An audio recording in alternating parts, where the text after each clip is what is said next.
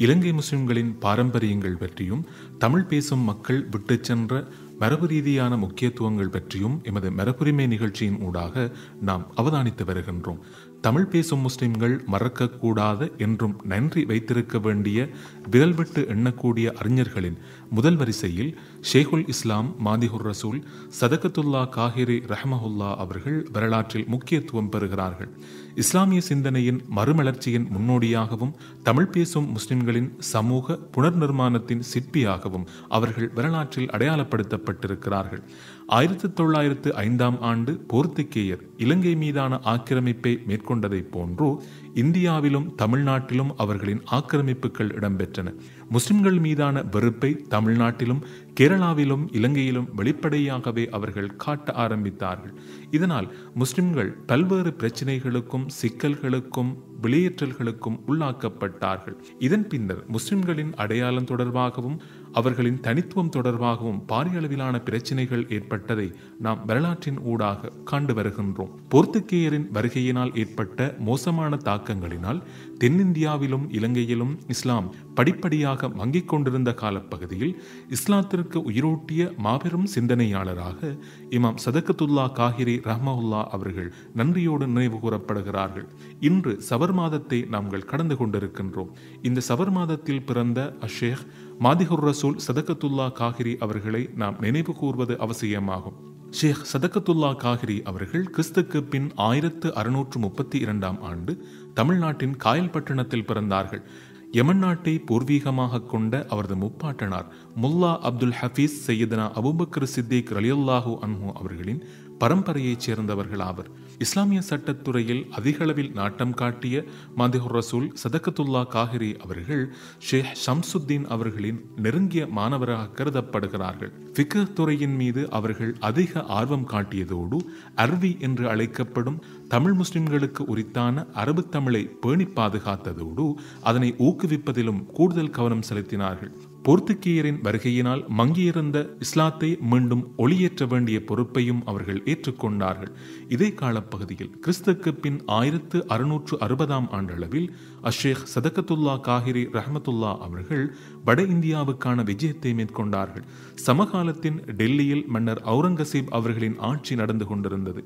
அஷேக் சதகத்துல்லா காஹிரி அவர்கள் டெல்லி நகரில் அமைந்திருக்கின்ற செங்கோட்டையில் உள்ள ஜாமியா பள்ளி வாசலில் அமல்களில் ஈடுபட்டு கொண்டிருந்தார்கள். மாறுவேடத்தில் உலா வந்து கொண்டிருந்த மன்னர் அவுரங்கசீப் அவர்கள் அஷேக் சதகத்துல்லா காஹிரி அவர்களிடம் சென்று உரையாடினார்கள். அவுரங்கசீப் அவர்கள் ஹனஃபி சட்டவாக்கத்தில் நிபுணத்துவம் பெற்றவர்களாக இருந்தார்கள். அதனால் சட்டங்களை பற்றி மாதிகுர் ரசூல் அவர்களோடு நீண்ட நேரம் உரையாற்றுவதற்கான வாய்ப்பு அவர்களுக்கு கிடைத்தது. மாதிகுர் ரசூல் சதகத்துல்லா காஹிரி அவர்கள் இதனைத் தொடர்ந்து அவுரங்கசீப் மன்னரோடு நெருங்கிய உறவை பேணி வந்தார்கள். ஆனால் இமாம் சதகத்துல்லா காஹிரி அவர்கள் ஒருபோதும் அரச மாளிகைக்கு விஜயம் செய்யவில்லை. ஆனால் மன்னர் அவுரங்கசீப் அவர்கள் இமாம் அவர்களை சந்திப்பதற்காக ஜாமியா பள்ளிவாசலுக்கு அடிக்கடி விஜயம் செய்பவர்களாக இருந்தார்கள் என்று தமிழ்நாட்டின் வரலாற்று ஆசிரியர்கள் குறிப்பிட்டிருக்கிறார்கள். இந்த காலப்பகுதியில் தான் புகழ்பெற்ற ஹனஃபி சட்டவாக்க நூலான ஃபத்வா ஏ ஆலம்கீரி அல்லது ஃபத்வா ஏ ஹிந்தியா என்று அழைக்கப்படும் நூல் தொகுப்பதற்கான பணிகளை மன்னர் அவுரங்கசீப் அவர்கள் ஆரம்பித்தார்கள். மக்கா மதீனா ஈராக் இந்திய துணைக்கண்டம் என்பனவற்றைச் சேர்ந்த ஐநூறு சட்டவாக்க நிபுணர்கள் டெல்லி நகரில் ஒன்று சேர்ந்து ஹனஃபி சட்டவாக்க நூலான ஃபத்வா ஏ ஆலம்கீரியை தொகுக்கும் பணிகளை ஆரம்பித்தார்கள். இதனை மேற்பார்வை செய்வதற்கான பொறுப்பு மாதிகுர் ரசூல் சதகத்துல்லா காஹிரி அவர்களுக்கு வழங்கப்பட்டது.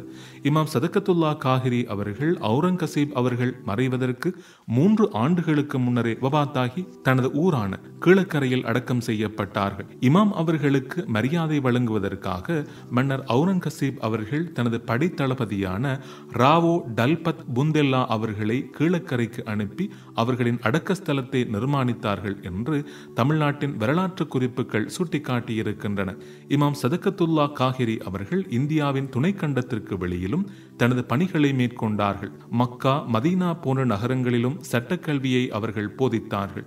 குறிப்பாக புகழ்பெற்ற ஷாஃபிஇ சட்டவாக்க நிபுணரும் முஹத்திசுமான இமாம் இபுன் ஹஜர் அல் ஹைத்தமி அவர்களின் மாணவர்கள் மஸ்ஜிதுன் நபவியில் இமாம் சதகத்துல்லா காஹிரி அவர்களிடம் ஷாஃபிஇ சட்டவாக்க கலையை கற்றுக்கொண்டார்கள்.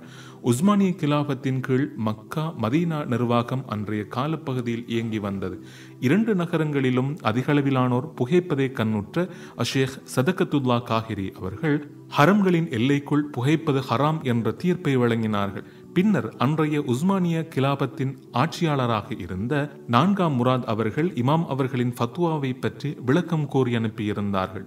பின்னர் உஸ்மானிய கிலாபத்தின் கீழ் உள்ள நாடுகளில் புகை இலை உற்பத்தியும் அதன் பாவனையையும் சுல்தான் நான்காம் முராத் அவர்கள் தடை செய்தார்கள். இமாம் சதக்கத்துல்லா காகிரி அவர்கள் தமிழ்நாடு மற்றும் கேரளா ஆகிய பிரதேசங்களில் உள்ள கரையோர பள்ளிவாசங்களில் பல்வேறு பணிகளையும் மேற்கொண்டார்கள். அவர்கள் மேற்கொண்ட பணிகள் இன்றளவும் பாராட்டப்படுகின்றன. சதக்கத்துல்லா காகிரி அவர்களின் நெருங்கிய மாணவராக வள்ளல் சீதக்காதி அவர்கள் வரலாற்றில் அடையாளப்படுத்தப்பட்டிருந்தார்கள். வல்லல் சீதக்காதி அவர்கள் வழங்கிய தனிப்பட்ட எந்த சலுகையையும் அவர்கள் ஏற்றுக்கொள்ளவில்லை. அவை அனைத்தையும் சமூக நிர்மாண பணிகளுக்காகவே பயன்படுத்தினார்கள். தமிழ்நாட்டில் வள்ளல் சீதக்காதி அவர்களை அறிமுகப்படுத்துவதற்காகவும் வள்ளல் சீதக்காதி அவர்களை வங்காளத்தின் ஆளுநராக நியமிப்பதற்காகவும் அஷேக் சதகத்துல்லா காகிரி அவர்கள் மன்னர் அவுரங்கசீப் அவர்களிடம் சிபாரிசை மேற்கொண்டார்கள் என்று குறிப்பிடப்பட்டிருக்கிறது. இதே போன்று தமிழ்நாட்டில் இனங்களுக்கிடையிலான ஒற்றுமையை ஏற்படுத்துவதற்கும் அவர்களுக்கிடையிலான மோதல்கள் ஏற்படுவதை தடுப்பதற்காகவும் தமிழ்நாட்டின் மிகப்பெரிய கோயில்களில் ஒன்றாக கருதப்படும் கோயிலை நிர்மாணிப்பதற்காகவும் வல்லல் சீதக்காதி அவர்கள் சதகத்துல்லா காகிரி அவர்களின் ஆலோசனைகளை பெற்றுக்கொண்டார்கள் என்று புகழ்பெற்ற தமிழ் சினிமா நடிகர் ராஜ்கிரண் அவர்கள் கூறுகிறார்கள். விஜய ரகுநாத சேதுபதி அவருக்கு பட்ட பெயர் கிழவன் சேதுபதினு சொல்லுவாங்க. அவருடைய ஆட்சி காலம் தான் ராமநாதபுரம் மாவட்டத்திலே பொற்காலம். அப்படி இருந்தது. ராமேஸ்வரம் கோயிலை கட்டினவர் அவர் தான். கீழக்கரையில சதகுத்துல்லாப்பான்னு ஒரு மகான் அடக்கமா இருக்காங்க. அந்த மகானை கிழவன் சேதுபதி தன் அமைச்சரவையிலிருந்து தனக்கு ஆலோசனை சொல்லணும் அப்படின்னு கூப்பிடுறாரு. மகான் சதகுத்துல்லாப்பா சொல்றாங்கன்னா சொன்னா அதுல எனக்கு அவ்வளவு நாட்டம் இல்லை உங்களுடைய நோக்கம் எனக்கு புரியுது.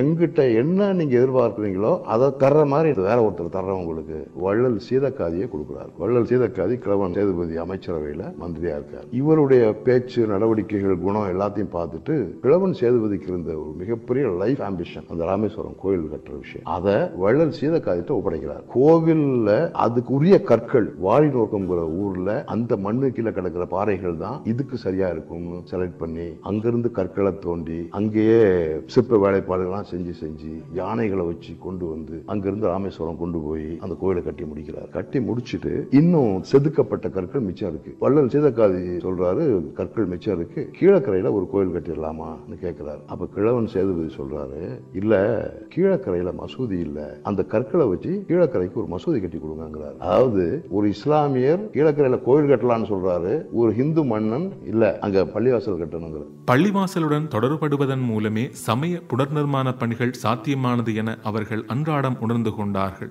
இதற்காக அரபு கல்லூரிகள் குரான் மதரசாக்கள் வழக்கு தீர்ப்புகள் திருமணம் போன்ற நிகழ்வுகளை பள்ளிவாசலுடன் இணைந்ததாக மேற்கொள்ளுமாறு அவர்கள் ஊக்கமளித்தார்கள்.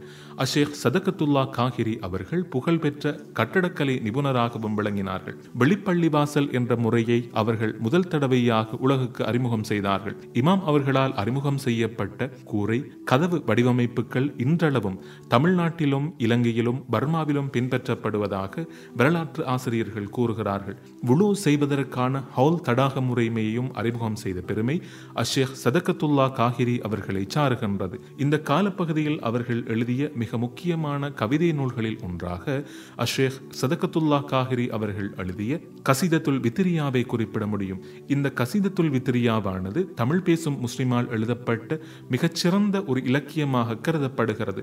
தமிழ் மக்களால் கூட அரபியில் இவ்வாறான பாண்டித்தியம் பெற்ற அரபு கவிதைகளை எழுத முடியுமா என்று இன்றளவும் பல்வேறு கேள்விகள் முன்னெடுக்கப்படுவதாக ஜாமியா நலீமியாவின் முன்னாள் பணிப்பாளர் கலாநிதி எம். ஏ. எம். சுக்ரி அவர்கள் கூறுகிறார்கள். தாம் எடின்பரோ பல்கலைக்கழகத்தில் மேற்கொண்ட ஆய்வின் போது இது தொடர்பான பல்வேறு கலந்துரையாடல்கள் இடம்பெற்றதாகவும் அஷேக் சதகத்துல்லா காகிரி போன்ற அறிஞர்களும் மாப்பிள்ளை லிப்பை ஆலிம் போன்றவர்களும் அரபு இஸ்லாமிய துறைக்கு வழங்கிய பங்களிப்புகள் பல்வேறு அடிப்படையில் பேசப்பட வேண்டிய முக்கிய பகுதியாகும் என்றும் அறிவித்திருக்கிறார்கள்.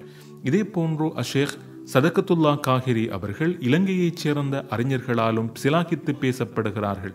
இலங்கையில் இனங்களுக்கிடையில் ஒற்றுமையை மேற்கொள்வதற்காக தமிழ்நாட்டை போன்று இலங்கையின் கடல் எல்லைக்கு அப்பால் இருக்கின்ற பிரதேசங்களிலும் அவர்கள் பாரியளவிலான பங்களிப்புகளை மேற்கொண்டார்கள் என்று கொழும்பு பல்கலைக்கழகத்தின் முன்னாள் வரலாற்றுத் துறையின் பேராசிரியர் லோனா தேவராஜா அவர்கள் குறிப்பிட்டிருக்கிறார்கள். சமகாலத்தில் இவ்வாறான பணிகளை அஷேக் சதகத்துல்லா காகிரி அவர்கள் மேற்கொண்டதை நாம் அறிந்து கொள்வது அவசியமாகும். ஷேக் சதகத்துல்லா அவர்களின் பள்ளிவாசல் கட்டடக்கலையானது துபாய் அபுதாபி அல் ஐன் போன்ற பகுதிகளில் ஆயிரத்தி தொள்ளாயிரத்து தொண்ணூறாம் ஆண்டின் முதல் பகுதிகளில் அறிமுகம் செய்யப்பட்டதாக கலாநிதி தைகா ஷுவைப் ஆலிம் அவர்கள் அரபிக் அரபி Persian in Serendib and Tamil Nadu study of contribution of Sri Lanka and Tamil Nadu to Arabic அரபி Persian Urdu languages literature and education என்ற ஆய்வு புத்தகத்தில் குறிப்பிட்டிருக்கிறார்கள். கிழக்காசிய நாடுகளும் இந்த முறையை இன்று பின்பற்றுவதை நாம் அவதானிக்க கூடியதாக இருக்கிறது.